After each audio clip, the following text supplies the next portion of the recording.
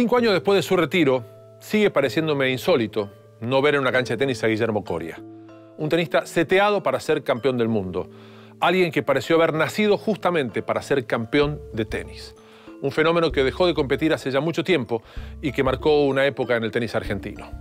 Un jugador excepcional que no por eso dejó de sentir presiones como cualquier otro mortal.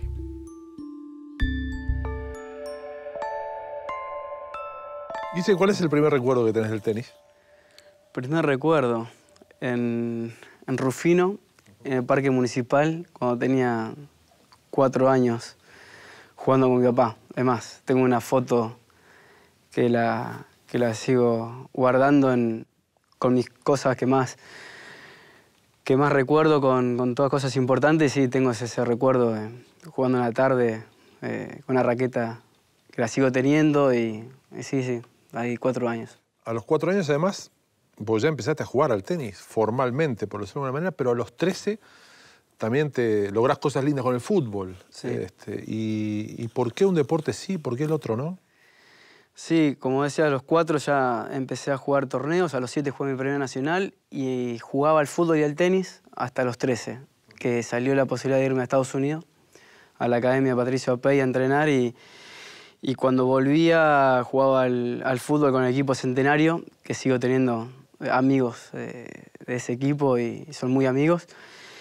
Y me decidí por el tenis porque era un deporte más eh, que dependía de mí. Eh, me acuerdo que salí de, un, partido, un partido importante, una final, y, y creo que me había agarrado un gol y, dije, no, esto no, no, no, no, puedo, no puedo perder o ganar que dependan de mí o que dependamos de otro y no, prefiero más un deporte individual y por eso, bueno, y en ese momento también tenía la posibilidad de irme a, probar, venirme a Buenos Aires a probar algún equipo que me habían, me habían visto y, tenía la posibilidad, que el fútbol también me encantaba, pero, pero bueno, me incliné más, más por el tenis y, y después cuando fui creciendo, como que ya los sponsors como que me tenían prohibido hacer, hacer otro deporte y, por eso apenas cuando me retiré me puse a jugar una liga en, Rosario al, fútbol. Eh, dio siempre la impresión de que vos fuiste de estirpe tremendamente competitivo, un gran competidor. ¿En algún momento se te metió en, el camino, alguna vez jugaste un partido sabiendo que había plata después de ese partido? ¿Que, que había un billete después de ese partido? Cuando era chiquito, a lo mejor, porque siempre mi sueño fue juntar mi, mi primer plata para poder eh, comprar una casa o, comprar mi, primer auto y, siempre, o sea, no es que jugaba el tenis por la plata, pero obviamente era, uno era consciente de que, de que si te iba bien podías eh, ganar dinero y, y una de, de, mis metas principales era eso, poder, poder ganar plata para, para poder tener una casa, que nosotros siempre, mis viejos siempre alquilaban y yo siempre veía por ahí que, que si mi viejo no tenía muchas clases, costaba, costaba poder llegar al alquiler y después tener que alimentarlo a nosotros. Y ojo, nunca me faltó nada. a, mi, a, mi, hermano y a mí nunca nos faltó nada, siempre comimos. Y, siempre, o sea, el reflejo de mi papá es eso, el sacrificio, entrenarse y, para, para, para, poder llegar a cumplir todas las metas. Y, y sí, después, cuando ya pude comprar mi, mi, primer casa para mi familia, el auto, eh, me compré un cuatri cuando cumplí 15. Y ya después como que, que, pasé a otra meta más importante, a ser, llegar a ser número uno del mundo como junior, que estuve cerca. Eh, y después, eh, cuando pasé junior a profesionales, ahí sí me puse con todo para ver si, si podía llegar a ser primero, estar dentro de los primeros ocho del mundo y después ser número uno. Y ya cuando, también estuviste cerca. Claro, sí. Pero cuando ya entras en, el circuito y, estás ahí muy concentrado, es imposible pensar en, la plata. Y más cuando hay tanta diferencia entre partido y partido. Claro. Eh, si vos te pones a pensar que poner ahí un montón de plata de diferencia, no, no, no podría jugar. Pero yo siempre pensaba más en los puntos. Que, en los puntos sí pensaba que había mucha diferencia entre cuarto de final y semifinal o final. Claro, eso te cambiaba el ranking. Eso me cambiaba el ranking y, pero siempre estaba más pendiente de los que estaban adelante mío que los que venían atrás. ¿Y eso te presionó alguna vez? ¿Te, hizo trampa jugar algún partido sabiendo que, estos puntos te, subían 20 puestos en el ranking? Sí, hasta que, hasta que vi que, me hacía mal y que no entraba a la cancha concentrado en lo que yo tenía que hacer y, en, hacer la táctica que tenía que hacer. Y, lo fuerte mío era darme cuenta enseguida o, sacarle la ficha al rival cuáles eran sus debilidades para, para poder ganar, porque también competía con jugadores como Safino, como Agassi o Kafelnikov, todos jugadores muchísimo más grandes que yo. Entonces tenía que estar eh, bien atento y lo que, y lo que, lo que hacía lo tenía que hacer muy bien para, para no desgastarme. Pero, pero bueno, veía que que tenía muchas cosas en la cabeza y hasta que dije que los puntos eh, se, ganan, no se defienden. Y creo que me dio resultado y, me hacía bien para entrar a la cancha solamente preocupado en lo que tenía que hacer. Claro.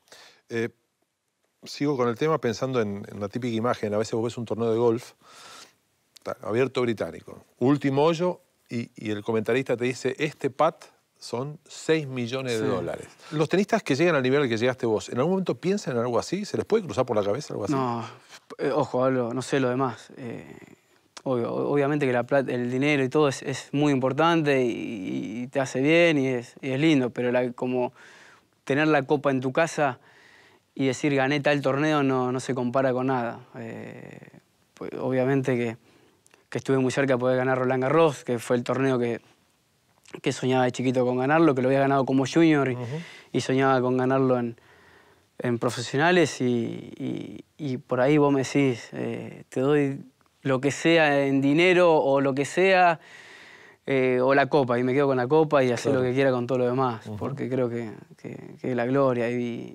también eh, cuando uno se retira, con la maldita Copa Davis, eh, vos decís, de afuera, y, cuando lo hablamos siempre nosotros, cuando comentamos, sí, qué tontos somos, que a veces cuando estamos ahí adentro eh, nos preocupamos por, por boludeces, eh, el ego que tenemos cada uno que nos pone ciego y no, no, no, no podemos estar tranquilos y, y hacer las cosas que tenemos que hacer todos juntos para poder ganar la Copa Davis, porque ganar la Copa Davis hoy debe ser, y más en Argentina que no se ganó nunca, debe ser como no sé, debe ser lo máximo, porque también ganar un Gran Slam o ganar un ATP se han ganado, pero ganar algo así creo que, que debe ser lo, máximo y, sí, es eso.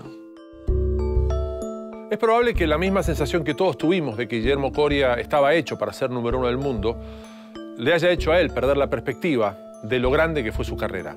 Corta, intensa, pero sumamente exitosa. Copa Davis, grandes torneos, una final en un Gran Slam y haber sido tres del mundo. Muy pocos lo logran.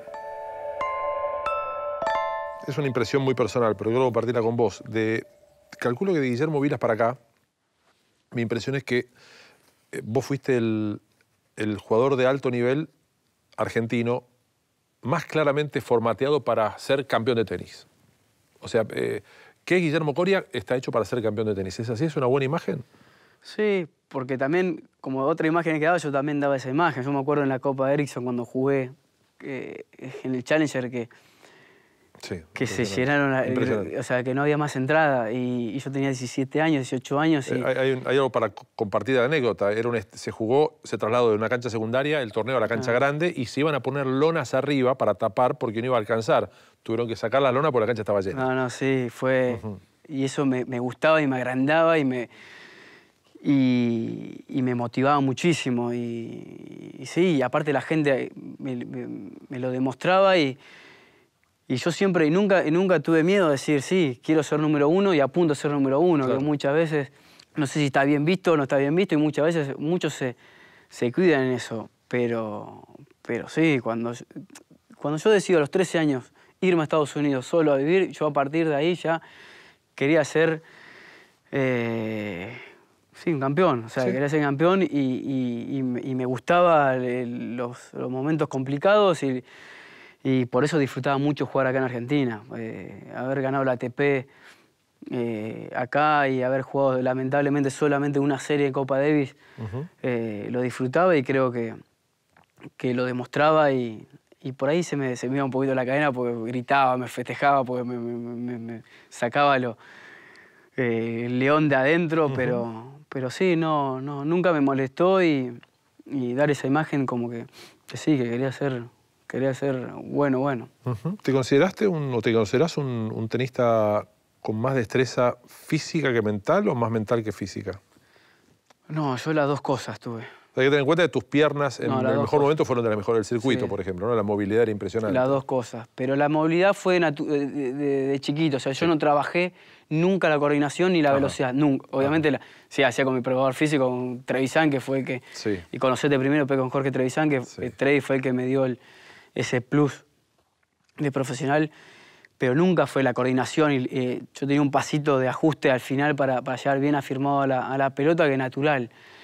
Eh, pero no, yo sabía de que, de que tenía que estar 11 puntos, no 10 puntos, 11 puntos físicamente y mentalmente tenía que ser muy fuerte porque no, no podía dar ningún tipo de ventaja eh, en nada y, era fuerte, mentalmente era, era fuerte y yo sabía que, que tenía que entrar a jugar y, había jugadores que no respetaba y, entraba y a ganarle 6-0, 6-0. O sea, y a los jugadores que yo respetaba, o sea, me concentraba mucho y, hacía bueno, mis trabajos que me daban, me daban resultado para, para no demostrar sobre todo al rival eh, debilidades. Eso, yo siempre estaba atento, yo siempre me fijaba en lo que a mí me agrandaba del rival para que yo no lo haga, para no repetir eso. O sea, y mismo también me fijaba en las cosas que a mí me molestaban. A yo ser coordinado, Arasi, por ejemplo, o Florian Mayer. Eran dos jugadores que me sacaban de, de quicio porque me hacían por ahí lo que yo hacía a los demás. Entonces eso me, servía a mí, me servía para, para hacerlo con, los rivales. Pero sí, no, yo estaba muy, mentalmente estaba, estaba fuerte. Y bueno, fue cuando, cuando se empezó a, ver los resultados malos y perder mi ranking cuando yo ya no estaba eh, focalizado y no tenía metas eh, claras en, mi cabeza que, obviamente se veía reflejado, recontra reflejado en, los resultados. ¿En qué momento sentiste estar mejor preparado tu carrera? ¿En qué momento recordás? Cuando vuelvo de Australia, no me acuerdo, 2002. No, perdón, 2002. Australia, claro, fue la pretemporada de 2002, enero de 2003. Vos ganas Monte Carlo. Antes que yo vuelvo de Australia y claro. Y me junto con Luli Mancini y con Jorge Trevisan en Punta del Este. Que, que lo primero que me preguntaron para qué estaba y, a dónde apuntaba. Yo le, y le dije, me acuerdo en un barcito de noche a Trevi, que fue el que me preguntó, le dije, quiero ser número uno. Eh, me voy a matar para ser número uno. Y entonces me dijeron, bueno, entonces sí te entrenamos. Claro. O sea, aceptá lo que venga. O sea, yo te tiro, tirate allá. ¿Estás dispuesto? Te digo, tirate allá, ¿te tirás? Sí, le digo. Quiero ser número uno porque venía también bueno, el doping. Eh, había perdido un montón de. O sea, se me habían todos los puntos. Yo termino 44 el mundo y antes del doping estaba 43. Y había llegado a estar número 23, eh, creo, con 18 años. Cuando entonces la pretemporada me dice, bueno, mañana a las 5 y media de la mañana te paso a buscar. Perfecto, Leo. Y, a partir de ahí, que fue dos semanas antes de la ATP de Buenos Aires, que yo hago final claro. Eh, como, ya, que le gano a, no sé si le gané a Zavala, a Nalbandián, a Gaudi, bueno, y pierdo la final. Exacto.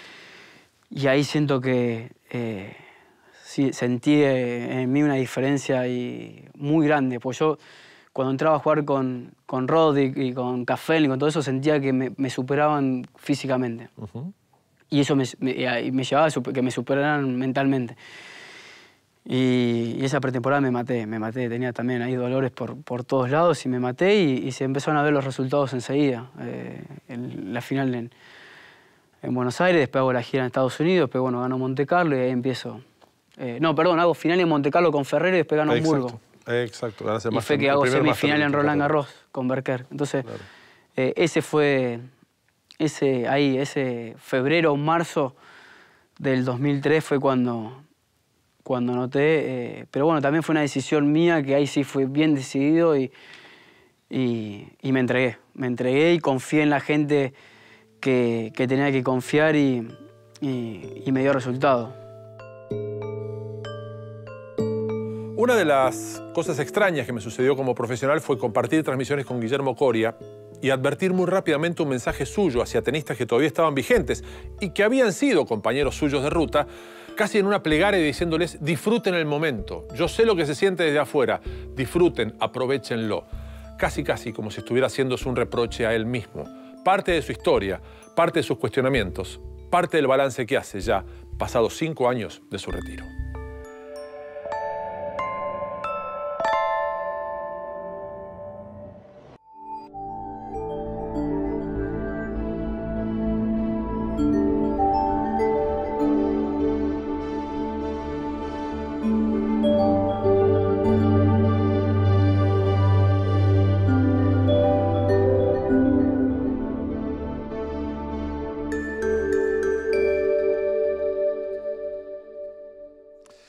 Justamente pensaba en, nosotros la primera transmisión que hicimos juntos fue la final del 2008, y una cosa que me impresionó, y me parecía muy, muy humana de tu parte, era cuando vos, eh, sin saber que te escuchaban, como que le hablabas, por ejemplo, al Chucho, a Casuso, desde tu lugar diciéndole que lo disfruten. Vos recién te habías retirado. Sean conscientes de que de afuera se ve muy distinto todo esto. Aprovechen que están adentro, ¿no es cierto? Sí, y lo que yo daba por estar en ese momento, estar adentro. O sea, por más de que ya estaba retirado y, y tenía mis cosas con, sentimientos encontrados con el tenis, pero son momentos que, que cuando te retiras no lo vas a sentir nunca más en tu vida. O sea, esa, esa sensación, esa cosquilla en la, en la, panza minutos antes de entrar a la cancha. Y por eso que en la Copa 10 cuando transmitíamos, trataba de decirle a los chicos que, que lo disfruten. Mismo del Potro cuando, cuando pierde, que el otro día fui, me acerqué y también le, le hablé de que, de que, de que siga, porque son momentos que van a quedar para siempre. O sea, son momentos que que quedan y, representar a tu país o, entrar a una cancha, un estadio lleno de gente, estar ahí es, eh, no tiene precio. Y hoy también lo veo con mi club, viendo a los chicos, lo difícil que es el tenis y, y, lo poco que pueden llegar a lo que me tocó llegar a mí, que fue un afortunado y, porque eh, es como que era normal estar ahí. Y, hoy ves que es muy difícil estar ahí y son cosas que, que, están buenas y, y, las recuerdo muy bien también. ¿Crees que habiendo podido, si hubieras podido mirar un poco en perspectiva como ves ahora las cosas, estando dentro del circuito, quizás hubieras seguido más tiempo tu carrera? Sí, sí, pero ojo, también no sé si hubiese logrado todo lo que logré con, por mi forma de ser. totalmente. Eh, nunca lo voy a saber y nunca se va a saber. Eh, obviamente que, que tendría, sí tendría que haber tenido un poquito más, más de equilibrio y y por ahí no ser tan duro, tan duro conmigo mismo. O sea, yo era muy duro, no me perdonaba nada, no, me perdonaba ni una sola, no me dejaba pasar una sola y no escuchaba a nadie tampoco, era muy cabeza dura. Eh, o sea, respeté a, muy pocos entrenadores y, y son aprendizajes que, bueno, o sea, eh, no, no, no, no, me arrepiento de nada de lo que hice porque todo lo que hice siempre fue consciente de que era lo mejor para mí. Tanto las decisiones que he tomado y las cosas que hacía. Eh, siempre pensando que era lo mejor para mí y lo mejor para poder llegar a ser el día de mañana número uno del mundo, que era lo que, lo que, lo que soñaba y veía que, que cada vez tenía un poquito más de posibilidad y estaba cerca. Entonces, eh, pero bueno, hay que tener un equilibrio y creo que si hubiese escuchado un poquito más, eh, hubiese sido diferente, que el golpe duro, que me, me, doy cuenta de eso, fue cuando pierdo la final en Roland Garros, que ahí me di cuenta de, esa noche que fue terrible eh, y lo que era yo como persona. O sea, yo demostraba ser duro, que entraba a la cancha, una personalidad impresionante, que no tenía miedo a nada, que iba al frente como loco y, y en momentos eh, de tanta tensión me demostré a mí mismo que, que por ahí tendría que haber escuchado un poquito más. E-, eras humano. ¿Le encontraste alguna explicación más de las que hemos visto a la famosa final? Sí, sí, no, yo eh, la noche anterior llamo a Gil Reyes. Sí. Pues estaba, estaba nervioso y le dije, lo único que me preocupa, lo único que me preocupa es acalambrarme. Todo lo demás, estoy súper confiado, veía. Gil Reyes es una de las personas que vos heredaste de Agassi, ni más ni menos, ¿no? O sea, el tipo lo preparó eh, físicamente Andrés. Eh, él me hablaba, me daba consejos y yo hablaba mucho con él. y lo llamé y le dije, mira, me pasa esto veo, veo del otro lado eh, tensión, eso me da mucha confianza y estoy muy confiado y me siento jugando muy bien y estoy bien. Pero el único temor que tengo es que el partido vaya fácil y que me, y que me acalambre, que, que pierda por eso. Nada Me dice, bueno, tomate un vaso, de, me dio un par de leche, que sé yo, tranquilo. Y, termina pasando lo que pasó. O sea, el partido va rápido, me empiezan a venir un montón de imágenes en la cabeza. Eh, Festeja, o sea, ¿el festejo antes del tiempo? El festejo, sí, no como... Sí. La gloria antes del tiempo. La gloria antes del tiempo. eh, yo creo que si hubiese sido el partido más parejo, o sea, de entrada, Claro, o claro. tampoco me quiero dar nada, eso, pero si hubiese sido de entrada, eh, no te da tiempo a pensar. No te da tiempo a, a nada. Totalmente. Eh, y por eso te digo, cuando uno empieza a estar más preocupado por uno mismo y no del otro lado, eh, Es un peligro. es un peligro. Sí. Y yo y yo tenía en mi cabeza, siempre tenía en mi cabeza eh, ganar un torneo así, ir a la conferencia de prensa y decir me retiro por todo lo que yo había, Claro, por yo lo que había vivido, o sea, ir a, ir a tal cual, o sea, yo voy y no, o sea, y no juego más. Eh, hasta acá llegué, cumplí mi objetivo, pero bueno, o sea, no, se me fue de las manos. Eh, cuando yo, por eso, cuando apenas siento el primer tirón acá en el cuádriceps, este fue. Eh, chau, me empecé a poner más nervioso. Dije, no, no me puedo calambrar, no me puedo- Fue cuatro iguales, Si dejaste pensar en lo que tenías que el, pensar. fue en el punto. Cuatro iguales, 40-30. El punto. El tercer set. Me acuerdo patente. Que una- un punto largo, que llego exigido y me tira. Y me tiró como me ha tirado un montón de veces en Claro, otros partidos, pero como yo tenía en la cabeza, el miedo era ese, no me tengo que calambrar, chao. Y, y sí, bueno, después se me fue de la mano y la seguí Sí. luchando. Y, pero, pero sí, pero también fue. Yo ese torneo no escuchaba a Fabi, estaba con Blenchino, con, con- en la parte física con un amigo. Y fue mi kinesiólogo, pues yo tenía también con Moyá en cuarto de final, es cuando me tira el hombro, Sí. que me, me empiezo a sentir fuerte el, el dolor del hombro y, y los primeros games, los primeros sets siempre me, me dolía y no, hasta que entraba en calor. Y es como que ese torneo, me la, la presión me la comí toda yo solo. O sea, desde el primer día que, que llego, que yo pierdo la final en Hamburgo con, con, con Fer, que me corta la racha de Sí.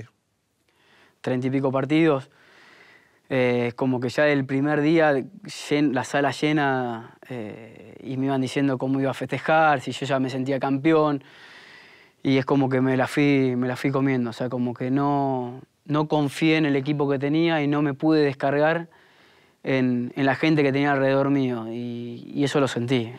Y fue duro. Y cuando llego a, a la final, que llevaba no sé cuántos partidos sin perder con un argentino, eh, también es como que ya me dan ganador y todo eso, es como que, que me sentí un poco ahí humano. Y, y no, también el día, de, el día de la entrada en calor me quedé, se retrasó el partido, no me acuerdo qué pasó, llegué antes y ni comí, me, me puse muy nervioso y, y estaba tenso, o sea, porque no, no, no, no tuve con quién descargar, no, no confié en alguien para...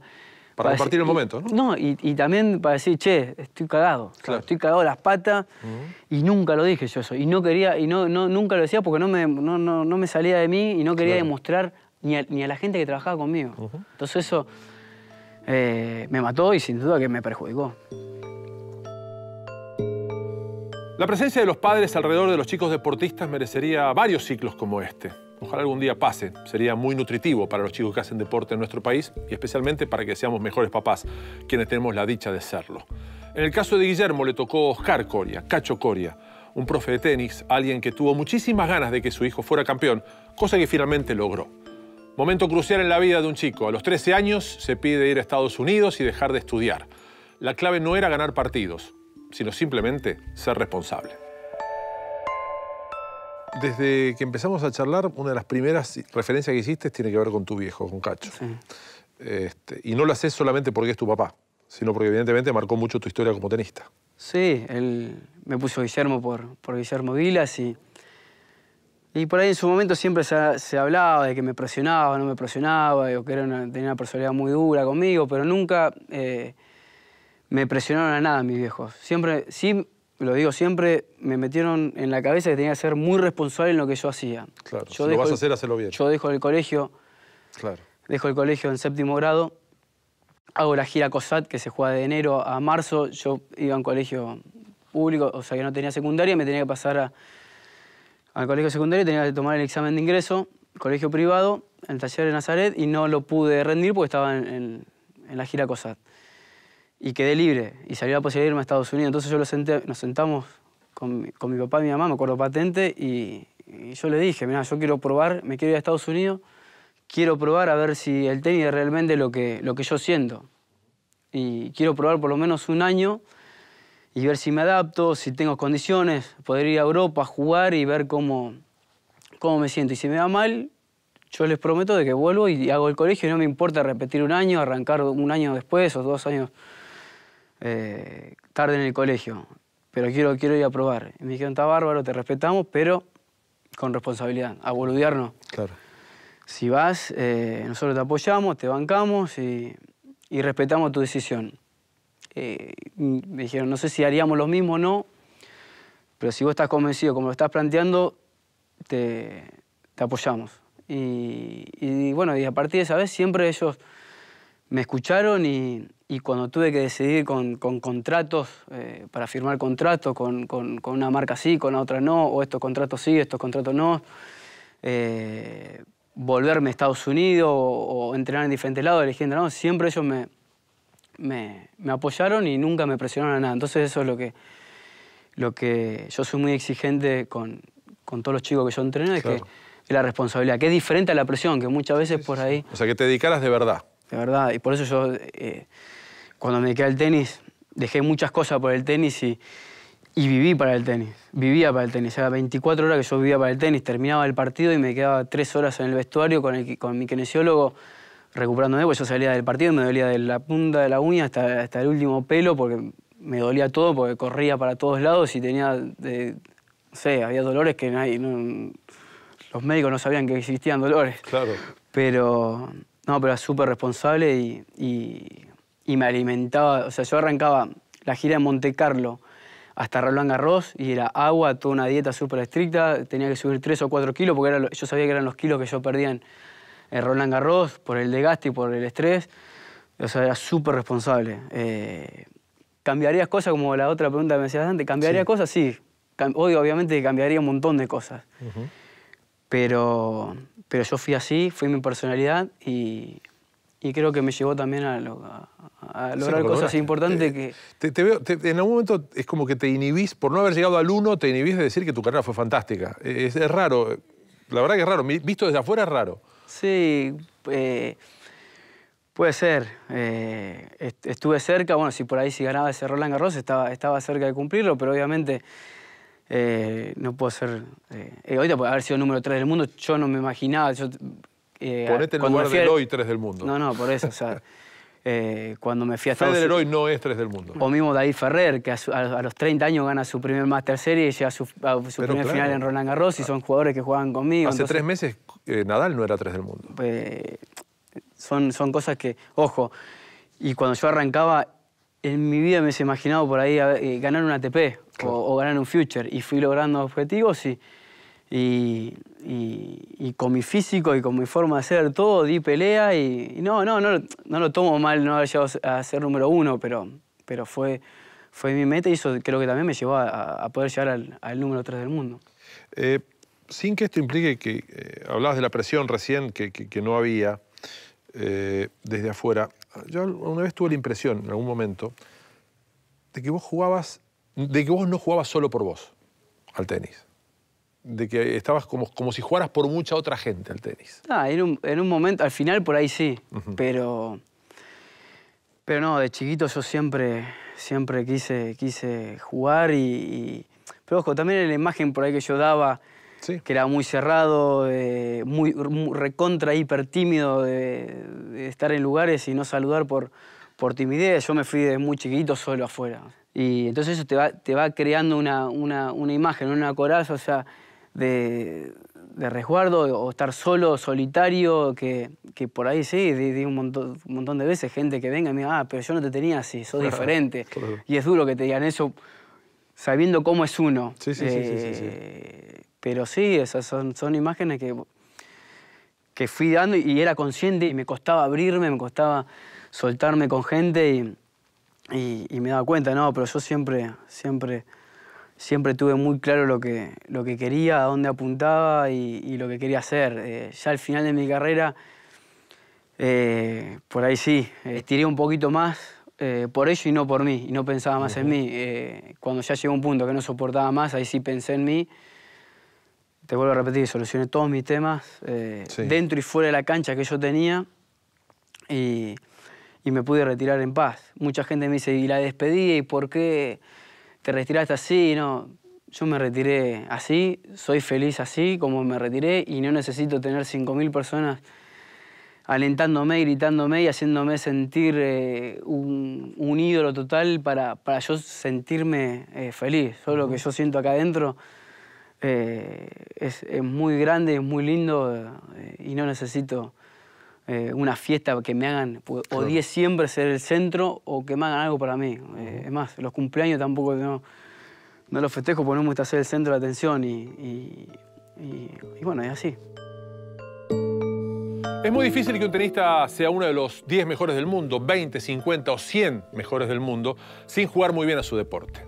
Entre los varones hay que ser muy completo, hay que sacar razonablemente, tener buena derecha, buen revés, buena estrategia, muy buena capacidad atlética y muy buena cabeza. Son sutilezas a veces las que definen a uno bueno de uno excelente. Ser excelente para Coria tuvo, entre otras cosas, como factor de influencia, ser un auténtico estratega bien zorro dentro de la cancha.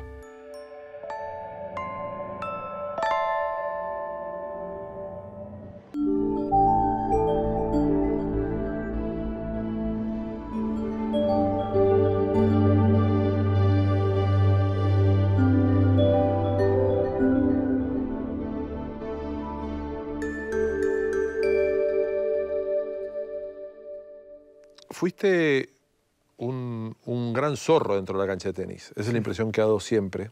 Eh, más allá de, momentos, era bueno, sí, un zorro, pero la famosa final, bueno, eh, estamos hablando de, esa cosa que vos decías.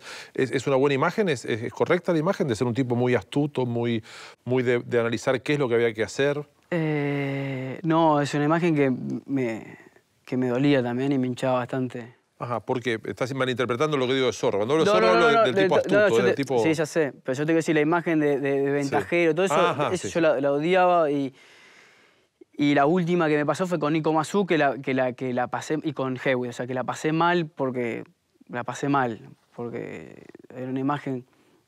Y la final de Roland Garros, que también me, me, dolió.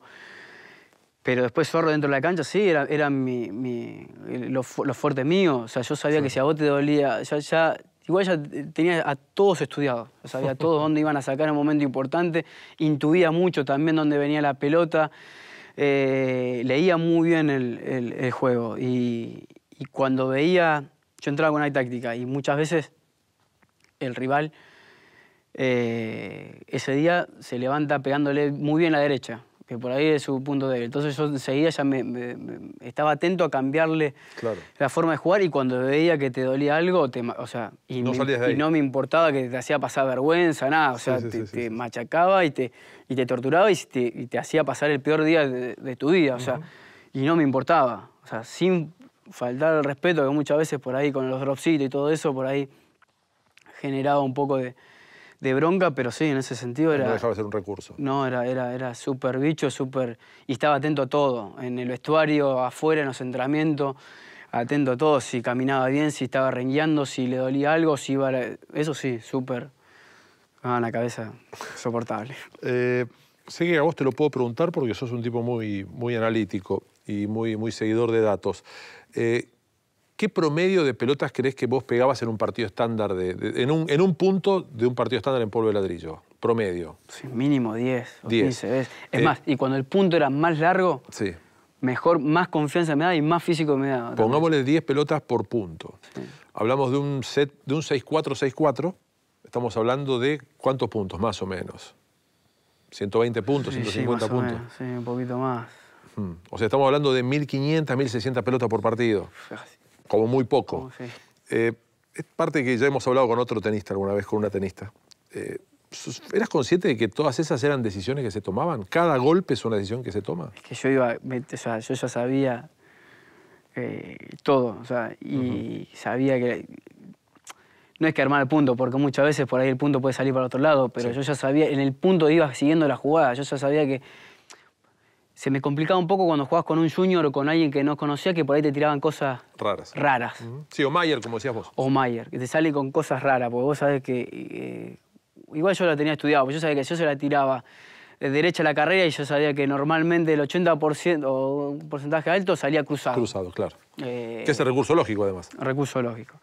Y yo ya sabía, ya, ya, eh, lo tenía todo en mi cabeza, la jugada, todo, y, y lo tenía todo registrado. Y yo sabía que si le ganaba dos o tres puntos por aquel lado, por ahí te cambiaba y en un momento importante volvía a jugar ahí porque yo sabía que, que- que ahí te molestaba. Pero sí, todo, Claro. el- eh, todo en la cabeza tenía. Eh, la cantidad de veces de pelotas y, y veía si a- al rival le molestaba jugar más de 10 pelotas, ponele, dos o 13 pelotas, le jugaba dos o tres pelotas. No te ganaba el punto antes. Claro. Y te iba desgastando así. O sea, no te tiraba, te, tenía para winner, por ahí no te tiraba el winner y prefería que vos llegues para hacerte correr para el otro lado. Ajá. Para ir desgastándolo. O sea, y, y sí, obviamente yo tenía todo, lo iba llevando todo en mi cabeza y sabía todo y no me importaba por ahí si un game se alargaba porque me tenía confianza en, en- en- en los siguientes games y que sabía que, que me tenía confianza en ganar el partido. Más allá de tu- tus relaciones distintas con tus diferentes entrenadores, desde junior hasta grande, eh, ¿cuál fue tu dependencia respecto del entrenador durante un partido? No, yo entraba, me daban, o sea, la táctica antes eh, del partido, eh, a ver qué tenía que tener cuidado del rival. Sobre todo eh, me decían de- del rival. Y, y después dentro de la cancha me daba cuenta yo solo. O sea, pedía ayu- o sea, pedía ayuda un poco. me, apoyaba en el entrenador. Y, y sobre todo con entrenadores que, que te dan muchísima confianza, que te decían dos cosas nada más y era tal cual. Y eso te da una A confianza veces le da bola siempre. Tremenda, sí. Yo sabía que en momento importante miraba y le decía, eh, pues, obviamente estás nervioso también y, y- y te perdés un poquito, entonces miraba al, al banco y te decía, pero yo dentro de la cancha eh, iba viendo yo el partido. Porque muchas veces también el jugador tiene que leer el partido porque el entrenador de afuera se ve totalmente diferente y por ahí él puede ver una cosa, pero vos dentro sentís otra. Caso de Nalbandián Sí. que todo el mundo por el revés. Porque derecha David las primeras eran misiles. Sí. Y yo cuando entraba a jugar con David sabía que los primeros games me, me- me ganaba, pues jugaba por la derecha y, y yo sabía que la larga eh, iba a tener más resultados. Entonces yo, y no me importaba perder 6-1, 6-0 y eh, el primer set. Obviamente que si el partido seguía así, que no cambiaba, le, Complicado. le- le- le cambiaba, pero yo sabía de que me daba resultados. Después de ahí fue mejorando su tenis, entonces no era solamente jugarle por ahí, había que, que buscarle variación, pero con, con un montón de, de- de rivales que yo sabía que al principio me, me iban a ganar, pero sabía que a la larga me daba resultados. y, y, no, pero me, me- me gustaba, me gustaba. Y, y- y también es como que yo me metía dentro del partido y estaba muy concentrado en estar pendiente de, Del otro. del otro. Eh, por eso también, eh, siempre cuando doy consejo, hay que mirar el otro lado de la red. Claro. Hay que mirar, mirarle a los ojos, mirarle cómo está. O sea, y momento delicado que cuando el otro te mira, por eso también hacía cuando la pelota que la dejaba muerta en la raqueta, antes de sacar, o sea, hacía cosas para que yo estaba por dentro, pero me temblaba hasta, claro. me temblaba todo, hasta la campanita de garganta, me temblaba todo, pero trataba de dar una imagen, Un simulador. un digamos. simulador, sí. Sí. Hablar con Guillermo Coria de su carrera como tenista es meterse en una tremenda vorágine de intensidad verbal. Guillermo te hace sentir como si las cosas estuvieran pasando en este preciso instante y no hace 5, 6, 7 o 10 años. Eso incluye su rivalidad con algunos adversarios, eso incluye el tema del doping y también sus conflictos con la prensa.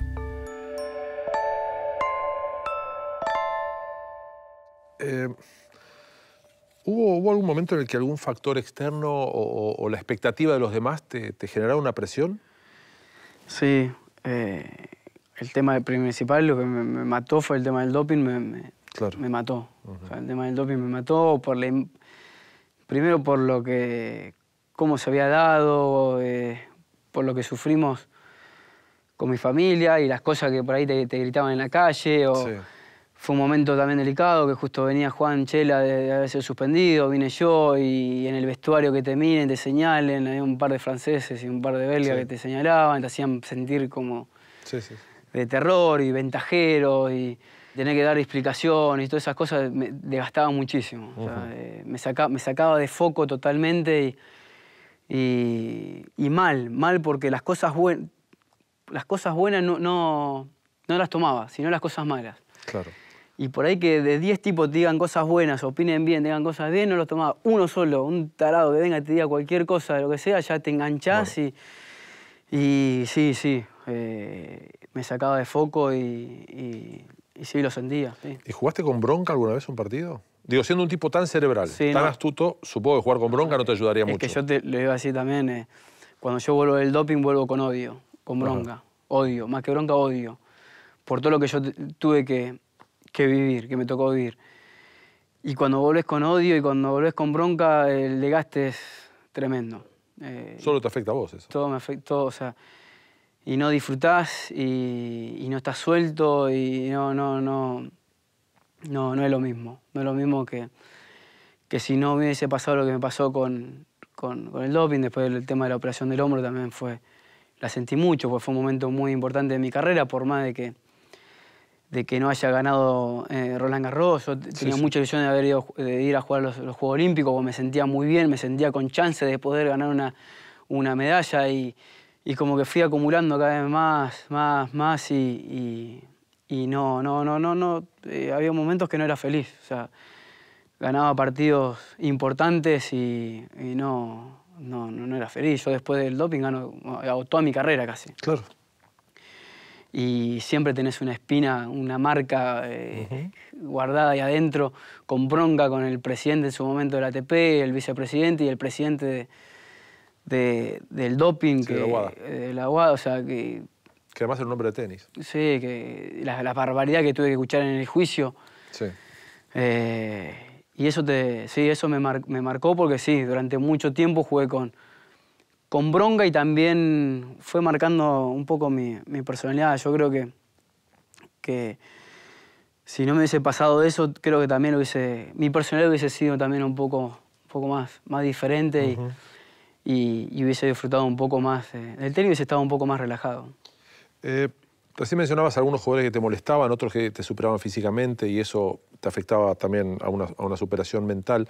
Eh, yo no recuerdo desde afuera haberte visto realmente superado por un rival.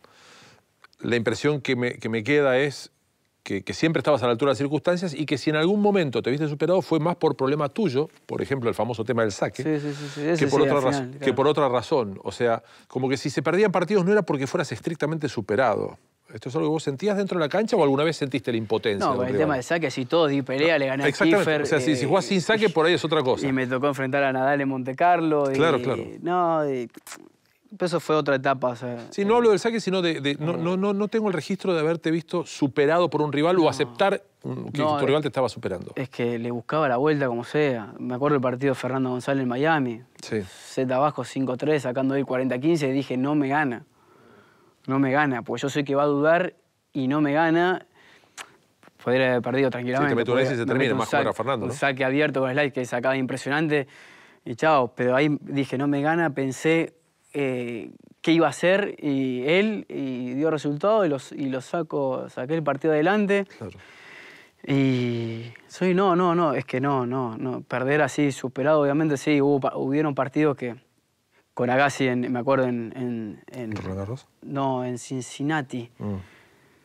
que yo, igual yo ya entré, que quería superar la hora, digo, este me va, me va a pegar una paliza tremenda y que por lo menos quiero, ahí sí fue la única vez que yo me sentí superado, pero igual le di partido, le di pelea y... Mm. Pero no, yo siempre le buscaba la vuelta y, y- Pero no, no, yo la verdad que nunca, así tan superado así, nunca, no, no, no, no, no me sentí. Que, que hayas sentido que con Agassi esa vez tenías que hacer lo que podías, ¿tenía que ver con lo tenístico o tenía que ver también con la admiración que vos tenías por él? La admiración, porque me pasó dos veces, en Australia que jugué con él y en, y en Cincinnati. Pero esto fue también antes de que, de que yo esté preparado físicamente, antes de empezar a entrenar con, con Luli Mancini y con Claro. Porque yo sabía que me superaban. A mí Agassi cuando yo jugaba me, me, eh, me hacía doler la mano. Él y Jafín me hacían doler la mano. O sea, ¿Por cuando me la venía la, y sobre todo en cemento, cuando venía me digo, no puede ser. No puede ser que me, que me haga doler la mano y que... eh, entonces le buscaba la vuelta para pegar más suelto y jugar con la velocidad de ellos. Eh, pero sí, yo veía que cuando me, me- sacaban y la evolución y cuando la cancha era un poco más rápida, sí. entonces eso también me vino bien para, para darme cuenta de que necesitaba estar muy fuerte físicamente y cambiar para, para que, que no, no me superen. Eh, yo sabía que le podía jugar de igual a igual, pero en un partido largo me iban a terminar ganando ellos. Y es horrible, sentir, entrar a la cancha y sentir eso era horrible. Odiaba sentir eso. Entonces por eso también hice un cambio en ese momento para, para no volver a sentirlo nunca más. Eh, Guillermo, al, al hijo que ya vino y a la hija por venir, eh, les, ¿Les aconsejaría si se quieren y tienen capacidad de dedicarse al tenis profesional? sería durísimo. Eh, no sé, la verdad que, que no sé. No sé. Eh, ya lo viví con mi hermano también, que es obviamente que es diferente. Sí. Eh, que mi hermano entrena, entrena, en mi academia, entrenó conmigo y yo ya, ya me abrí porque es. Eh, es bravo. Es bravo porque lo que se siente. No, no el, el, diálogo. Y muchas veces por ahí tener que retarlo y tener que ir a comer el domingo todos juntos, estar ahí es, es durísimo. Y, y, yo lo vi también con mi papá, de estar peleado por un entrenamiento, de estar todos juntos ahí es, es feo. Eh, no sé, cuando llegue, o, sea, ya lo digo con Tiago que se desespera por, como te decía antes fuera de la nota, se desespera por, por entrar a la cancha y hace todos los gestos y me mira y le dicen cómo hace papá y empieza a hacer el, el movimiento y eso que en mi casa hay una sola raqueta quebrada que tengo de recuerdo y, y no hay ni pelota de tenis. Y va y se desespera y agarra cualquier cosa. Y, y, no sé, la verdad que no sé. Lo que, lo que sí, vuelvo a repetir, con responsabilidad y vamos a estar ahí para, para apoyarlo y, y no le va a faltar nada. Lo único que yo quiero es que sean felices, eh, que estudien, que sería muy importante, cosa que yo no, que no, no, pude terminar con el colegio. Pero, pero sí. Eh, que, sean felices y, estar ahí y, ojalá pueda ser un buen padre. ¿Y si, y si la opción sea que tengan tu carrera, que termine corta e inesperada, pero que tenga todas las buenas que pasaron, ¿no comprarías? Sí, sí, obviamente que, que no. Y si, y si, le y si le tocaría vivir las cosas malas, también está bueno, porque a mí de chiquito no, no, con nosotros contra la Bandián crecimos juntos y fue siempre, eh, todos resultados muy buenos tuvimos de hecho. Y no tuvimos fracasos casi. Porque eran torneos, eh, también la gira era, larga y por ahí no iba mal un torneo, pero el otro torneo ganábamos y él ganó US Open y ese año ganamos la final de, Wimbledon en dobles y a mí no me fue tan bien en, single, pero al año siguiente gané Roland Garros, le gané la final. Es como que no tuve golpes duros. Y creo que me hubiese hecho bien eh, haber tenido un golpe duro de chico para estar preparado, para que no es todo, eh, es todo ganar, ganar, ganar, ganar, ganar, o como me pasó en un momento en esta eh, racha de treinta y pico partidos en Pueblo que yo entraba y sabía que no perdía con nadie, y que ya no disfrutaba ganar, porque era normal, ganar era normal. Eh, entonces como que, que, los golpes duros también están buenos tenerlos, obviamente sin sufrir y estar ahí, y más si son mis hijos, estar ahí para aconsejarlo y apoyarlo y aconsejarlo con toda la experiencia, pues yo estuve acá arriba el, éxito total y allá abajo en el fondo, fracaso, sintiéndome el peor de todos, pasé por las dos cosas. Y ahí abajo es donde más aprendí. Eh, donde más aprendí como humano y como persona y, me hizo ver más la realidad. Porque cuando estás ahí arriba y más cuando sos pendejo y todo el mundo te toca el hombro, no te das cuenta. Eh, entonces, si a mis hijos le tocara eh, una carrera como la mía, corta, no, no, me, no me pondría mal si le tocara vivir algo, a un, a un fracaso o a un, a un mal trago. Gracias, Gracias.